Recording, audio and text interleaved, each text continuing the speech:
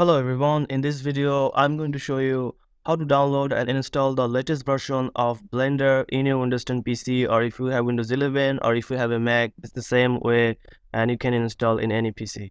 So first you need to go to any browser here. So I'm gonna go to the Firefox browser here.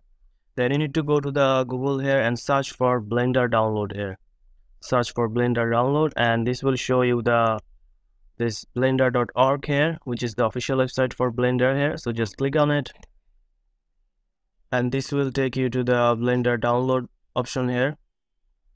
So as you can see it's for windows here. Uh, also you can download for mac linux or the steam version here so windows here.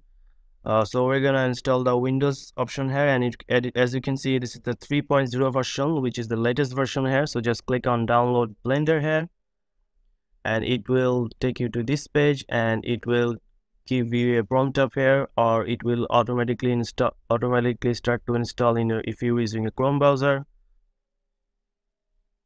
Uh, so as you can see here's the prompt of file here. So you just need to click save file here and it, you can see it's only 203 MB so just click save file and it will start to download here.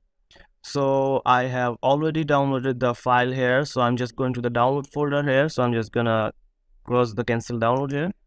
So I have already downloaded the folder here so I'm just gonna go to the folder here and as you can see the blender 3.00 setup file here. So you need to click double click here. Then you need to click run here. And it will show you the preparing to install option here.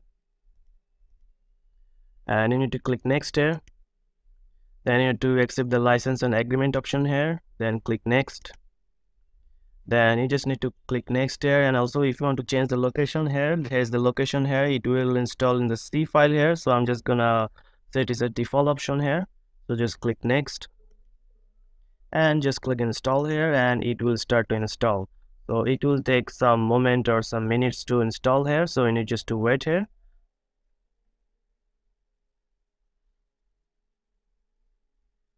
as you can see the blender is installed now after some few moments here. So as you can see there's also the shortcut in the desktop here. So you need to just click finish here.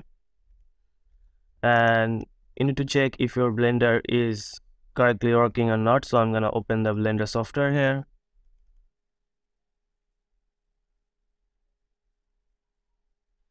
As you can see it's opening here. So it's gonna take some moments here because it's the first time you're running here so the blender software is open here so it's properly working here as you can see. So you just have to so you can start your work here right now. So if you just click on the option here as you can see it's properly working here. So you just can go to go to the file here and click a new file.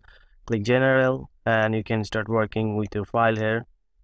So that's it guys. This is how you install the blender file here the latest version. As you can see that this is the 3.0 version here so if i go to the as you can see in the right corner here this is the 3.00 version here.